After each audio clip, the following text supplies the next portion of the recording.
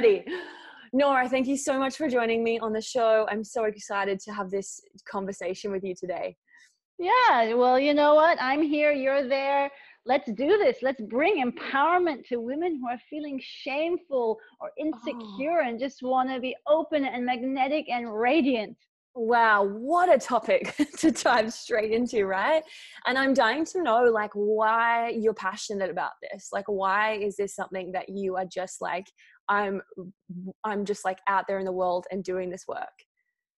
twofold. One is because I had over 10 years of anxiety. When I was 24, I had a panic attack in the London Underground. I closed off. I didn't trust the universe anymore. I was just like, who am I? What's my purpose? Uh, closed in the sense of contracted in the inside, shy, timid, was afraid of so many things. So I know what it feels like not to feel confident, not to feel radiant, or not to feel magnetic. And so now, 10 years later, I've closed that loop and now I know what it feels like.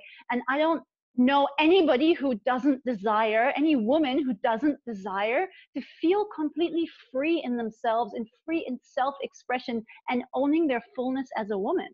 Mm, yeah. And also at the same time, it's confronting.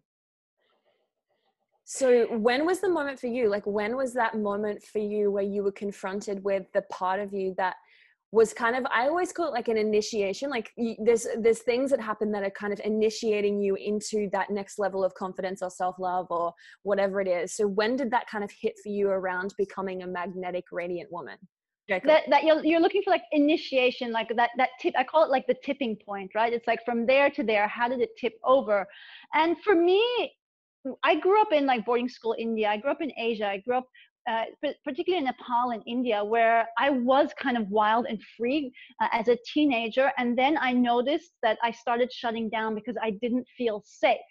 And so this whole, it kind of was a whole journey for me of this understanding, like, what do I need to feel safe as a woman? And that can go into any areas of life. And moving to Bali, I moved to Bali about four years ago now. I realized that I feel so safe here and I still had to work on myself. So I did a lot of NLP coaching on myself from my coach in India and just realizing the thoughts and the patterns in my mind were causing me this anxiety, causing me not to feel confident.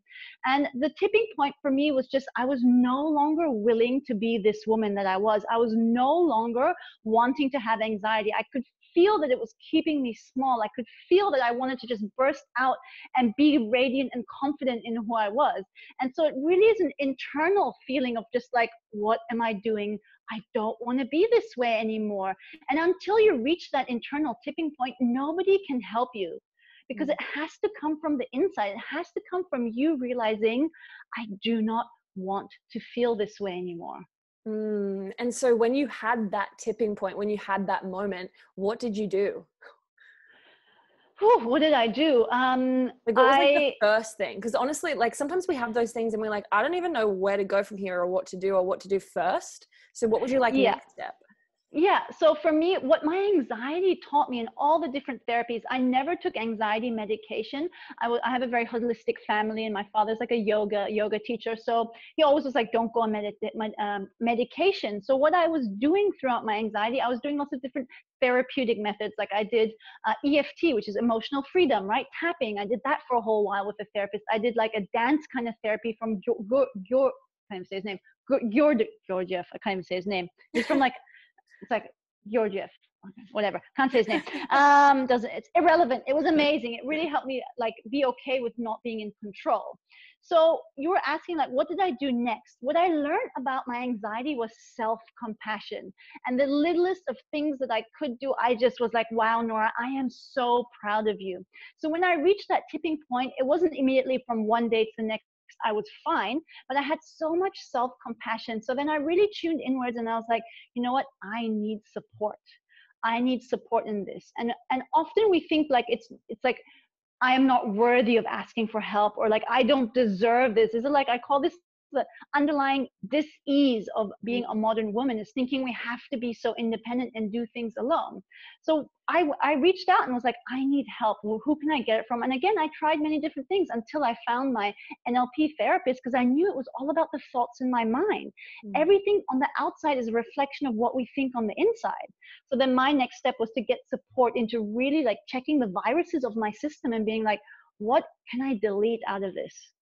Yes, it's so important, isn't it? And uh, you know, as you continued on that journey, so I think you know, seeking support is a big one and also a hard one for people to actually want to do that. And you know i even notice notice now as as i as i've been pulling back deeper layers of my own onion is that you get to some deeper levels of you know shame and all of those things around things that other people probably don't have shame around but there is something that's like tied within you. And it's almost like what what i used to be was like i'm just this feels so shameful to me that i don't even want to ask for help. Like i don't know how to ask for help so i'm just going to keep this in. And i'm noticing like right now how freeing it actually is feeling and how um, how much power I actually have been getting by reaching out and asking for help and and letting it be not this secret you know letting it just be like it's out there and it's and you're kind of putting out to the universe that i'm ready to heal this part of me i'm ready to take responsibility or take it you know or clear this energy or whatever. And it's actually so freeing and i've never had this ever in my life around asking for help. Ah, yeah, and I feel the relief and the freedom that you're just by you explaining that. And I totally agree. It's what happens is ultimately we all just want to be loved. And this comes from childhood. This comes from like, you know, just wanting the love from your guardians or your parents. And it translates into adulthood the same way we just want to be loved. So when you feel like you're not deserving and you feel like you're going to do something wrong by asking for help ultimately it's you just wanting to be loved. So you're pulling back from asking for help and support because you think you might be rejected which means you're not going to be loved. And so it's so painful and we do everything in life to avoid pain. We are not oriented towards pleasure we are pain averse and yeah. so that fear of asking for help, just, you know, you can put your hand on your heart and be like, I love you so much. So I say that to myself. I'm like, Nora, I love you so much. I understand that you're afraid of asking for help. And yet I know you're doing that because all you want is to be loved. And you think that maybe if you're going to ask for help, that, you know, they might reject you by saying no i can't help you and that's that's okay i love you i'm here for you so it all circles back to like being pain avoidant yeah, I love that. I love the the self-compassion part of this because often it's a part that we miss, right? Like often we're our biggest critic or we're so hard on ourselves and you know our, our inner critic is there strongly than our than our compassionate self. And so I think just bringing some awareness and, and compassion into our hearts and into ourselves on a daily basis is so needed. And sometimes it's even like it's it, sometimes that's even hard to believe. You know i've had so many women that i work with and so many say to me sam i don't know how to love myself. Like i don't even like myself.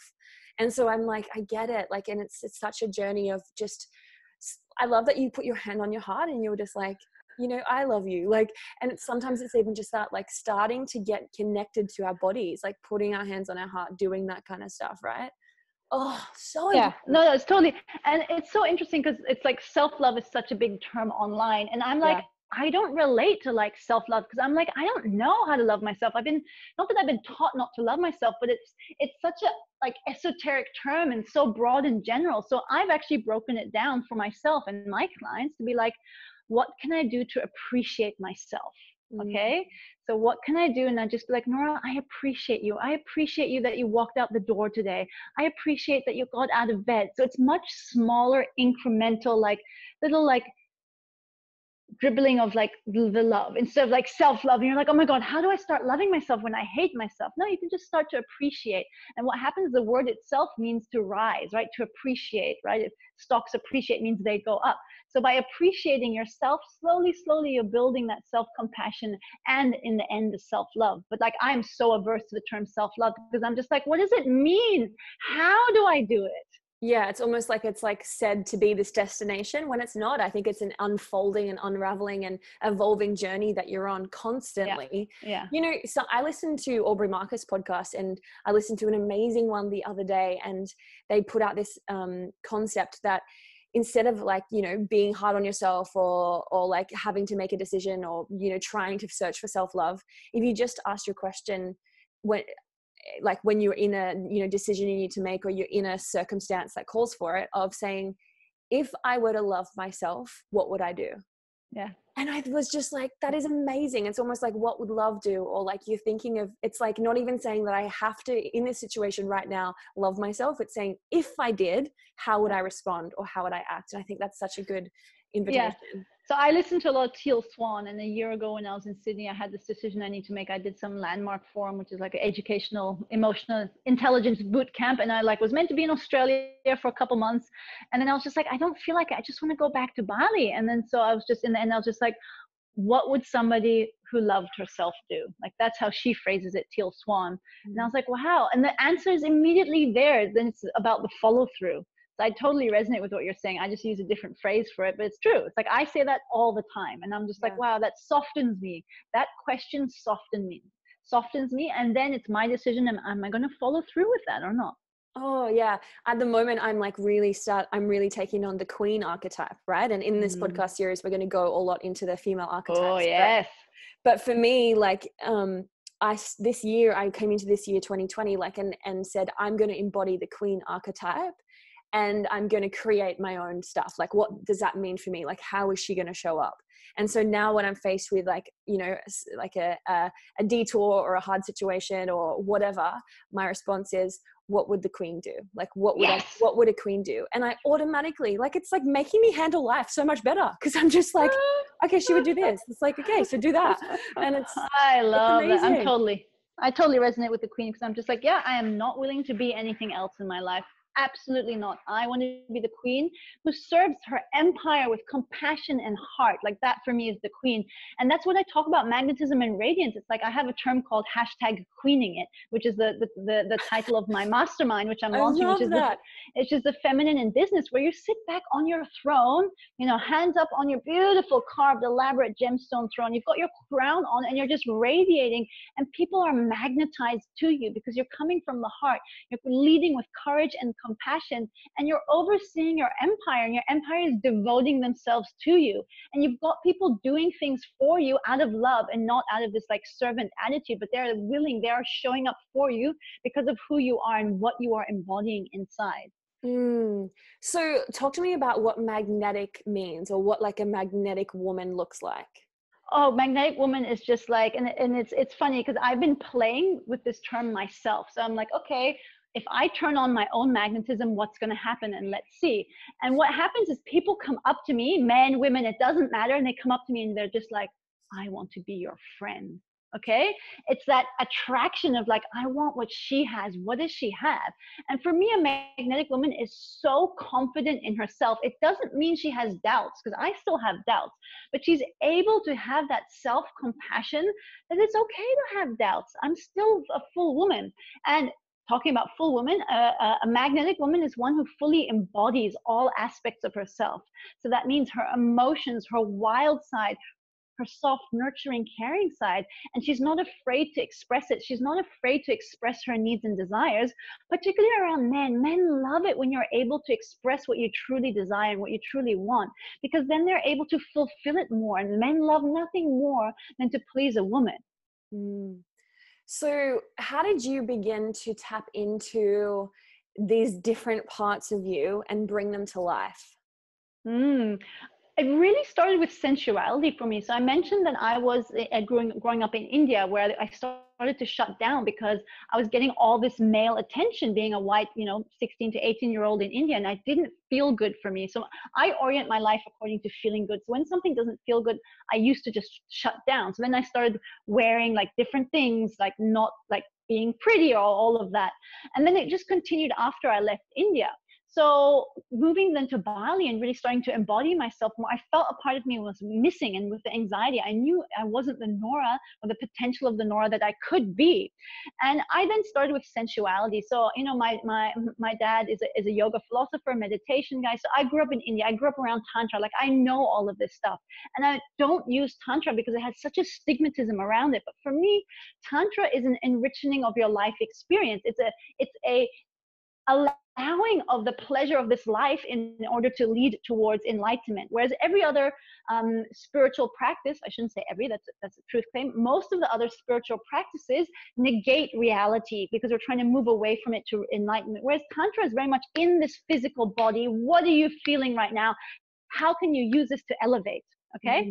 And so for me, sensuality is like, okay, it's how we interpret reality. Without our senses, we just be a blob of disconnection. Mm. So how can we tune in into what is going on around us in order to enrich the experience of life? So when I started tuning into sensuality, I was like, wow, it makes me feel alive. And that is then the difference of how I was feeling before. It's like scared, dull, numb. And then slowly tuning in, like just right now, if you're listening to this podcast or you right now, it's just like close mm. your eyes and just can you feel the sensation of the air on your skin? And just allow yourself to feel that. What does that actually feel like? And there's no right or wrong to feeling. It just is. But even that, it's like when you tune into that, it's it can be so pleasurable. And this is like a mindful practice. And it's like, can you feel the difference of where your clothes are touching your skin to where your skin is exposed? And allowing yourself to like luxuriate in that feeling. So that's just like a small thing like that. When I often mm-hmm. when I do this with in my workshops with my clients, they're like, wow, I never thought about the air touching my skin. And it's like, well, we don't think about so much because we're so busy with everything that we want to do in life. So taking a step back for that to really enjoy the pleasure that we can get from our senses. And that leads to an aliveness. That leads to this like, wow, I feel it. I feel it. And so when I'm walking around and I'm in my sensuality, which is just really being aware of my senses, right? People come up to me and, uh, and it's even just like I'm sitting there, I'm just like, oh. and then people are like, oh, what is she doing? I want some of that because I'm so enjoying myself.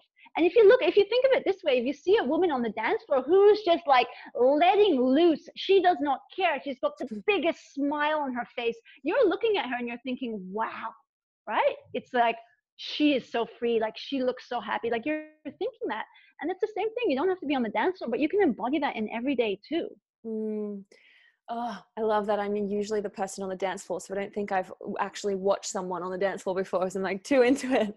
But I was going to say, like, recently I've had a lot of conversations and I've had my own understanding of the moments in which I want to tap out of my body, like, and I want to tap out of the present moment.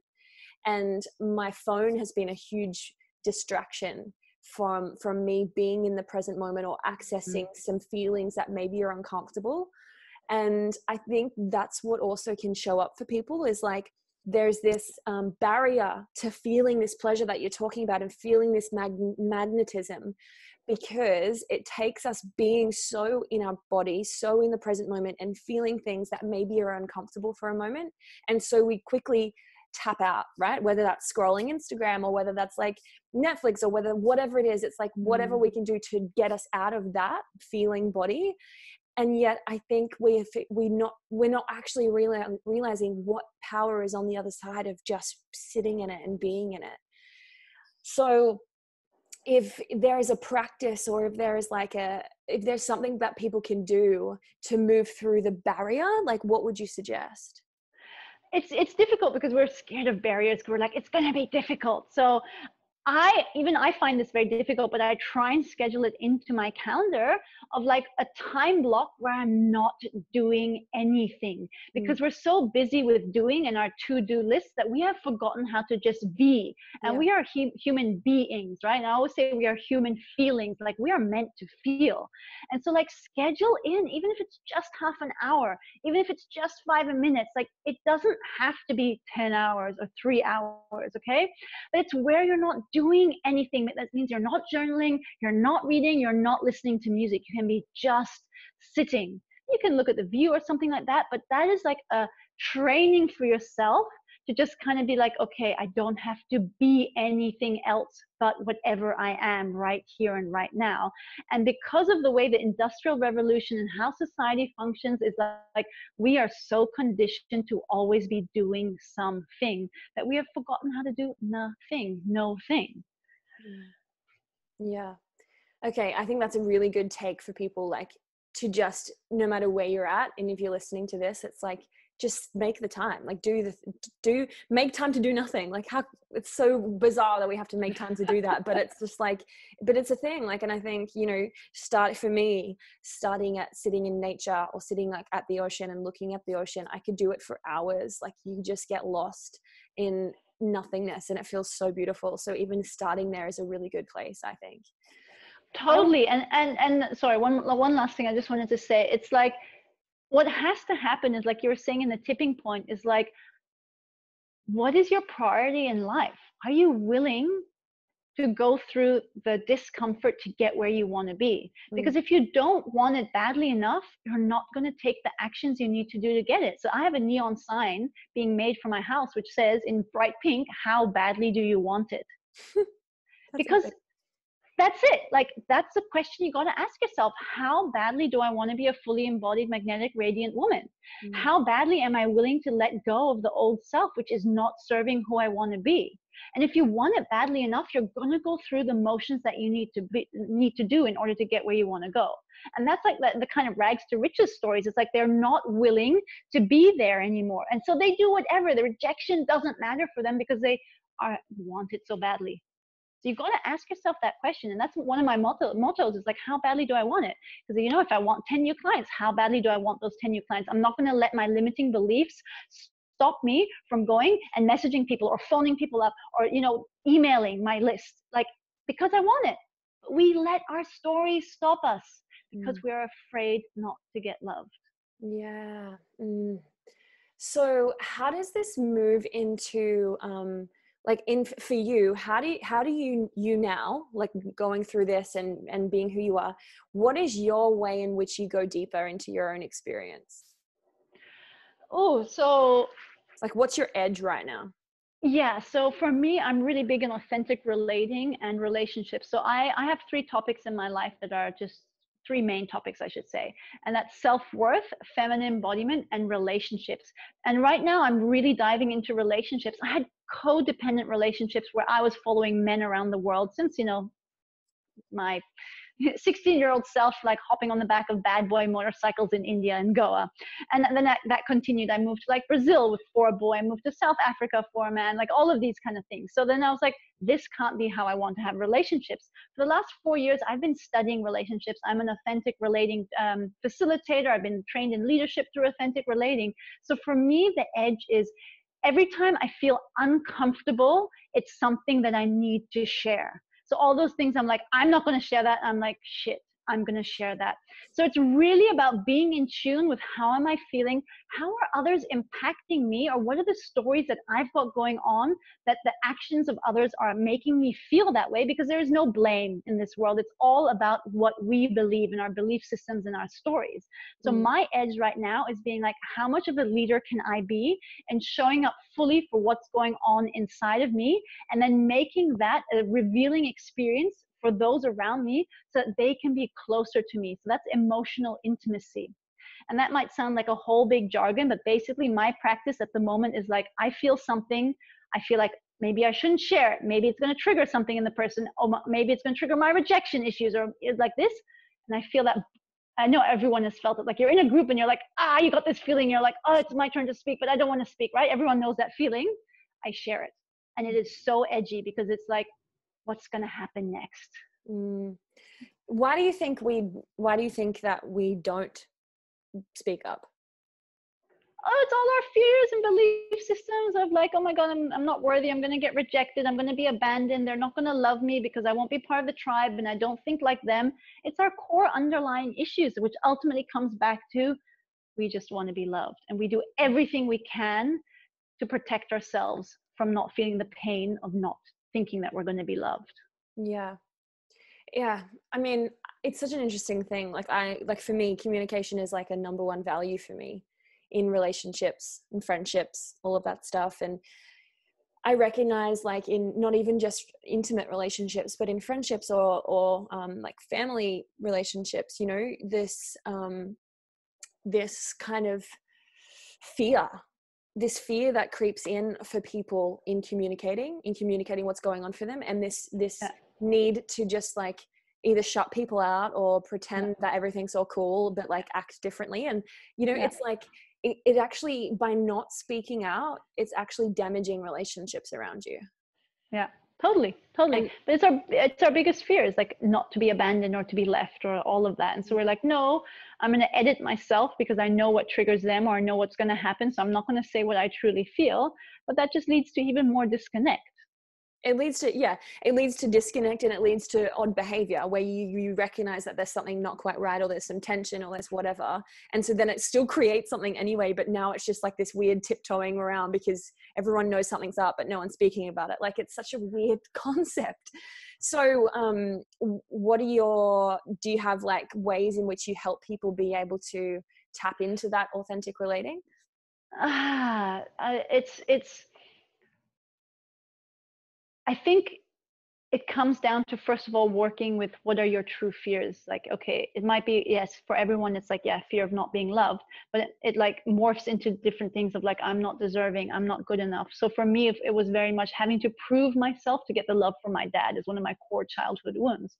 And so when it comes to in like love relationships i always felt like i needed to prove myself to get the love from my partner so for everyone it like is a little bit different but it's really looking at your childhood core wounds because it manifests as this like as adults we don't necessarily get triggered but it's our childhood it's our inner children that are getting trauma that have been traumatized internalize that they weren't, weren't loved and it continues and it's still showing up in adulthood because a, a, logical adult will know that this isn't the case. Everyone's uh, you know open to their viewpoint. Of course i'm not going to get rejected right? Mm. so we're having these like little children rule our uh, adult emotional life. So i always start with like what are your children's inner children's emotional needs that haven't been met? So when mm. you understand that you can see the pattern in each of your relationships and so for me, it was like, I'd get together with a guy. I'd be like, this amazing Nora, because like, look at me. Of course you gotta love me. Uh, and then, and then it would like fizzle out because you can't, that's not sustainable. You can't always be proving your love because that's really tiring. So when I found that my inner childhood core wound was like, I was always thinking I always needed to thinking because it wasn't true, needed to prove my, uh, myself to get the love from my dad, then I could see it in all my relationship patterns. So my advice is be like to sit down and a good way to think about what is your childhood uh, core wounds, it may be more than one, is what is a negative self-talk that is always there, mm. right? Because that can then lead to something that you internalize that happened as a child. Mm, I love that. How does this connect and relate to speaking up in sex or in in intimate intimacy with your partner around your you know sexual desires or you know sexual needs or relationship needs that aren't being met because often we can put a bit of a you know a lid on that conversation as well and just just settle in relationships and not have our needs met but become resentful and all sorts of things are going on just because we're not able to say hey i want you to xyz you know? And so what is, is this a similar thing well, I think when it comes to relationships and de- definitely around sexual intimacy, is that a lot of women, and I know this for myself through my anxiety, is the number one priority you have to think about in your life is where do I feel safe? How do I feel safe with my partner? Because when you feel, when women feel safe in general, they are blossom basically they just blossom so i want you to go back and really think about like okay in my partnership do I actually feel safe? Where do I not feel safe? What do I need to feel safe? Because if you feel safe with your partner, for example, you would tell him what your needs are, but you don't feel safe because you think there might be a reaction that you might get rejected or you might be doing something wrong. So you're not feeling safe. You've got this insecurity, underlying insecurity, which is preventing you from actually sharing your desires. So it really is about safety. I just got goosebumps from that because Same. it's so important. and the more that you think about safety in your life, and this doesn't only have to be sexual intimacy, in anything, in your career, in your spirituality, whatever aspect, right? What do I need to feel safe? Because when we feel safe, we do exactly and we go for exactly what we want. Yeah, and this is so important. And the very like first episode of this season with Josh and Alicia, we jammed on this. Like we jammed on the concept. And you know, my friend Josh was like talking about his relationship that he's in now. What it's not just like it wasn't just like a couple of weeks of him showing up and and, and proving to her that he's going to be there it was like years of like dedication to his own inner work every single day and then showing up in his relationship with consistency so that mm. she now can rewire her st- her story because she trusts that he's fully going to be there and she yeah. can deliver and and express anything and he's there for her. Like he he's got her. He's not going to drop it. He's not going to you know? And i think that's what building safety and trust looks like. I think we have to get clear on what it actually is like really specifically because when we throw out the words like oh yeah i trust my partner or yeah i feel safe with my partner we're not talking about the the nature of who they are. Like i've had mm-hmm. beautiful connections with men that are incredible men and and you know beautiful nature but they have they shown up in ways to make me feel like they're going to be there if i express all of me. Not all of them no and not all the time. And it's like so it's like those things what do we need? And then if we've identified so just say we've identified that there is a there is an opportunity for my partner to show up better to, to for me to feel safe or to do something different that i would need to feel safe. How do i bring that to bring that to them and, you know it all comes down to communication. So for me a foundation of a, a good a great flourishing relationship is truth safety and freedom and they build upon each other. You've got to be able to share your truths and that means you need to know what's going on inside of you and you need to feel okay i can share this and i need to share this if i really want a beautiful flourishing and nourishing relationship. Sharing your truths that leads to the feeling of safety because you know you and your partner can share whatever is coming up for both of you and can communicate and build upon that, which leads to complete freedom in your relationship. Because if you know that you've got safety and the truth is there, you're free to do whatever you want because you've got the two foundational uh, building blocks already. And so it comes back to like, okay, how badly do you want a flourishing, beautiful relationship? How badly are you going to be honest and truthful with yourself and what's going on? How can you recognize how your inner child is playing up and play and having emotional temper tantrums in your adult life? It all just circles back to the same things, but truth, safety, and freedom are the foundations of beautiful, epic relationships. Mm. Do you think that um, relationships that perhaps haven't had those pillars haven't had the passion, desire, and the sexual needs met, but they've been together for a while, do you think that there is, do you think that change can be made? Or do you think it's kind of like, oh well like we just we like there's we either end it or we stay in this that we're not entirely happy with like or do you think that there is always a chance for it to turn around I think there's always a chance for it to turn around. What happens, what kills relationships is assumptions. So you, when the longer you are with someone, the more assumptions that you just play the rules by and the context stay the same. So you're like, for example, your partner, you know, you're like, oh, he always likes his coffee black, but that's not allowing him the chance to change, right? And so assumptions are like constricting your relationship. So it's like I get this question often with with couples that I work with. It's like, oh my God, we've fallen into the mundane. You know what happened? Six months, you know, we were passionate and erotic and the sex was epic and now life just goes on. And like what happened to that passion? Well it's because you've fallen into this like okay normalization. There's no more eroticism. There's no more like tension in the pull between you. And you know when you're in the first six months yes it's also hormonal based because like as as women we're like procreation. We want to procreate so everything's in overdrive because make the baby survival of our species okay? So that is natural and scientific in the first six months. It takes complete commitment to say like yes you know what? I'm going to show up for you every day. I'm not going to make the assumptions that you yesterday are lying beside me in bed is going to be the same person that works up that wakes up next to me. Being curious about each other consistently. And if you think about the first six months of a relationship you are so curious about each other. You just want to get to know each other. And then that fizzles out as you think that you know them. Mm. and then you're just not curious about each other anymore. You just fall into the normality of being together and so I think you can totally change a relationship by starting to be curious. And that's something we do in authentic relating. It's like, okay, how can we be that curious child? And I'm sitting in front of you and I think I may know what's going on for you, even if, if, I've been together with my partner for 10 years. No, let's actually have a conversation about revealing what is going on in your mind in this present moment. So there's always a possibility for change, always a possibility, okay, let's see each other new. Mm, I really love that response. I love that answer because I think curiosity is such a gift for us as humans to to cultivate, you know. And I think, and I've really never heard it in that concept, but it makes so much sense because you're you often in a if you're in a long term committed monogamous relationship, then it's you and the other person for a long time, and and often the fear is like, you know, what if I what if they leave me?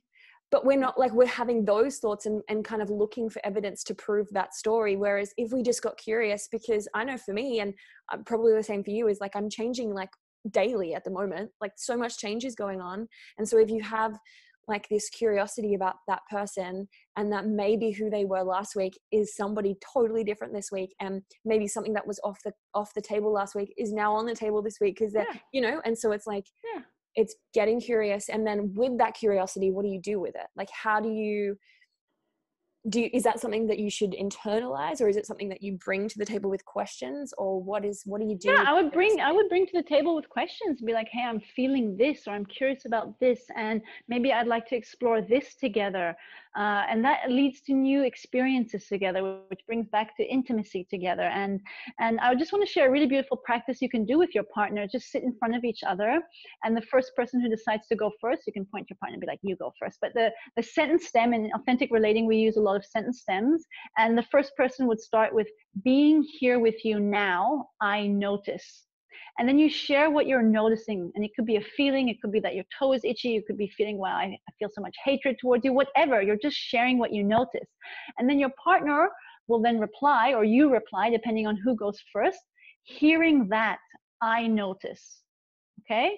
And then it just continues. So it's like being here with you, I notice. And then you, for example, Sam would Should, say, should we do a little should we yeah, do a little yeah. thing yeah, fun. yeah, we can do it. We can do it. okay Uh, and then it just and it goes back and forth. So after you've shared hearing that I notice, I would then go, well, hearing that I notice. So what's happening is you're sharing uh, your internal feelings and what's going on with you, but in the present moment, in relation to each other, not externally. It's like it's it's basically intimate intimate connection, and it's a, such a beautiful practice to kind of drop in together and start sharing from the heart. So we can do it. We can do a round. So uh, you want to start, and I'll. I'll okay I'll so i say um so being here with you in this moment i notice ah, like calmness in my body Hmm. Uh, hearing that, I noticed that I wasn't feeling so calm, but I am now.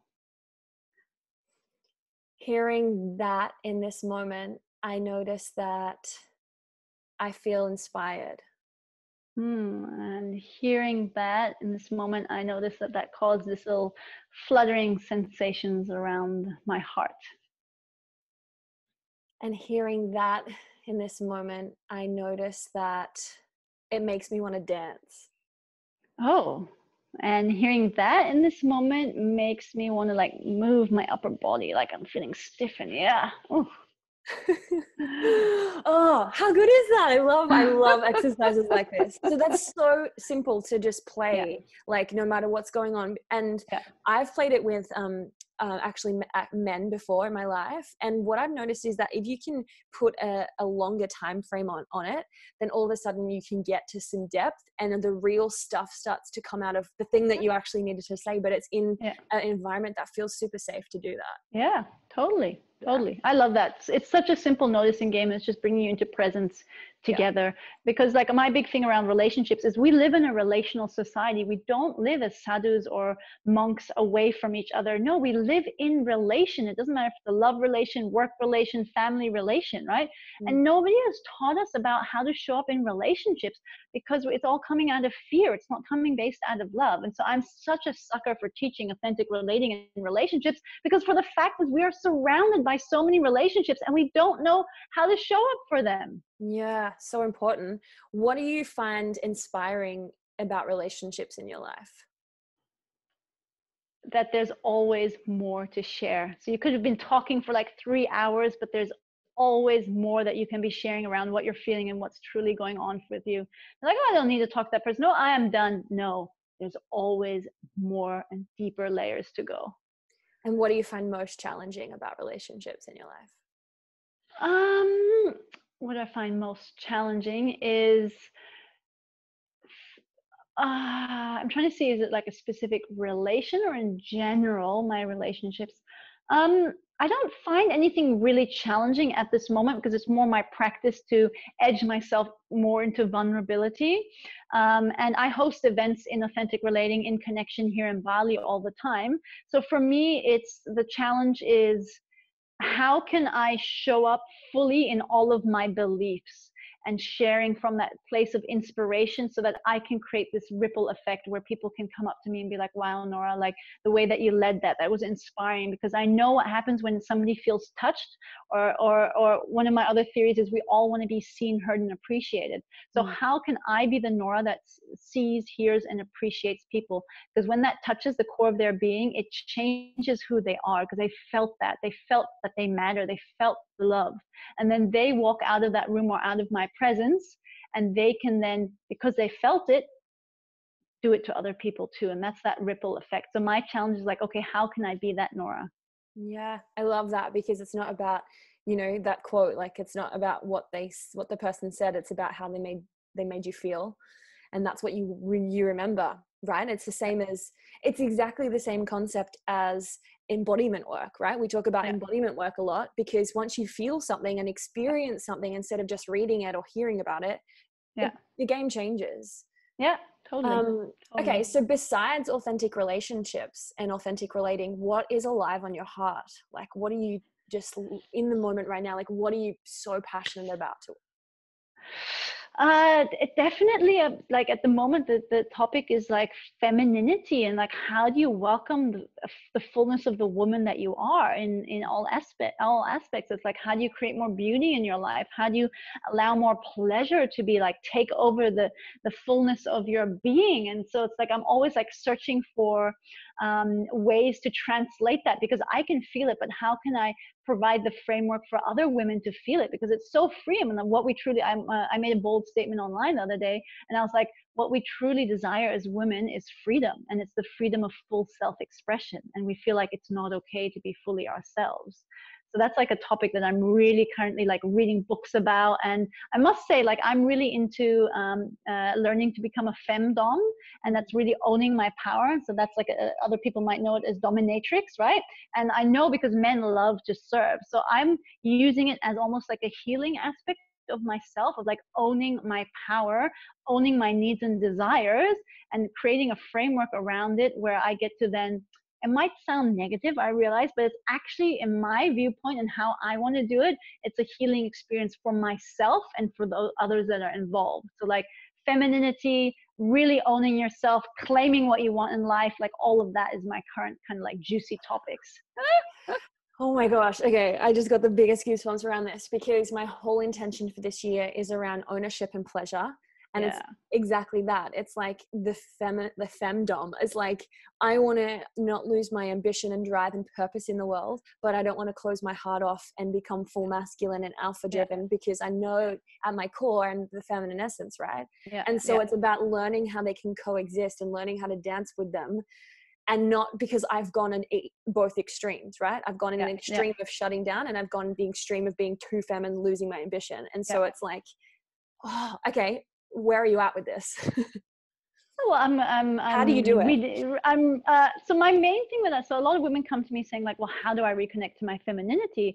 And so I always ask them to journal on like, what makes you feel feminine?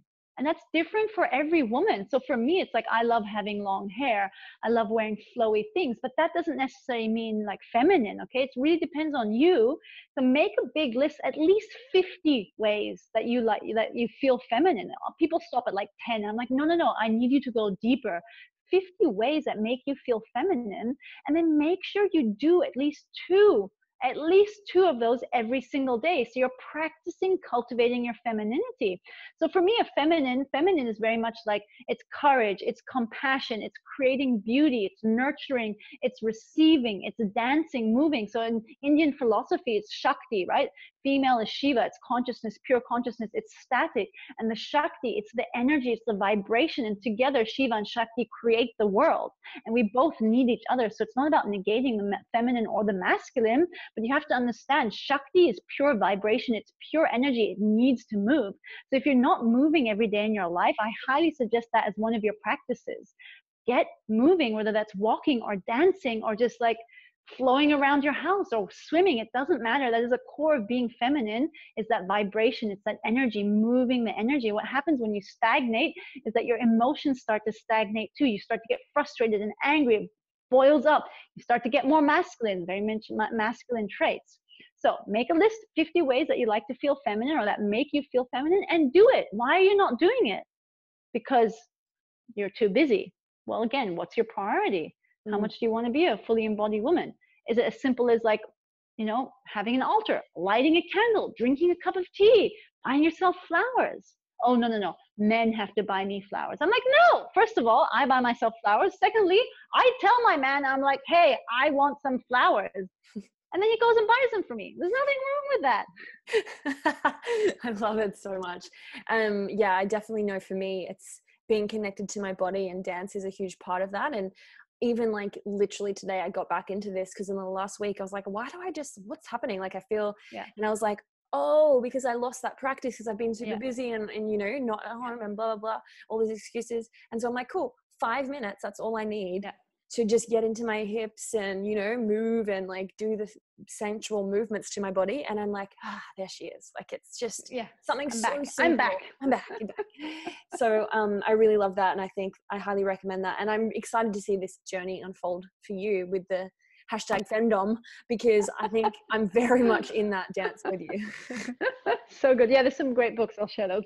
uh, and I've also got a beautiful playlist. So if you want to sign sign up for my playlist, if that's Oof. okay, it's it's it's norawendel.com forward slash sensual dash Sunday dash playlist. And you can sign on and I send out a new playlist every couple of weeks, every month or so.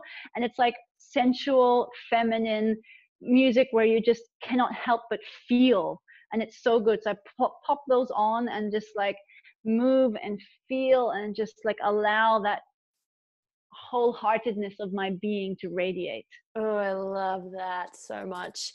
On while we're on that note too, where can people go to find out what like where you are online and all the things? Yeah, so I'm like really big on Instagram. I love my Instagram and all of my posts are just like how to's and captions of like what's going on in my life, how am I dealing with it, what, where do where am I finding my self worth and uh, feminine embodiment, what can I do, and then relationships. This is what's going on. So uh, my Instagram is at Nora Wendel. It's N O R A W E N D E L, and then yeah, my website website and I would say newsletter because I don't really update my website, but on I've got every Monday a, mo- a, Monday motivation where I share like a journaling prompt of something that's going on in my life that I'm journaling, and then every Thursday is Truth Talk Thursday where I actually share something personal that's going on in my life and how I'm handling it. So I get an insider look of like the processes that I'm actually using and the tools that I'm actually using to become more of a fully embodied sensual woman.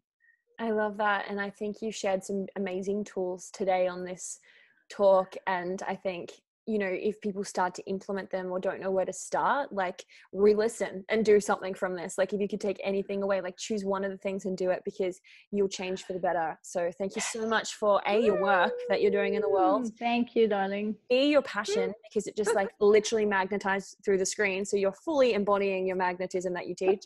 And c thank you so much for um yeah sharing all of your tools and and wisdom today i really appreciate it yeah, thank you so much. I feel honored. I feel grateful. I feel honored and grateful that everyone who tuned in right here, right now, out of everything that you could be doing, that you're listening right here, right now. That always touches me. And thank you so much, Sam, for your passion. And you're like, yes, let's do this. It's going to be about sexuality this year. And we're going to like knock their socks off and make them understand that it's safe and it's okay.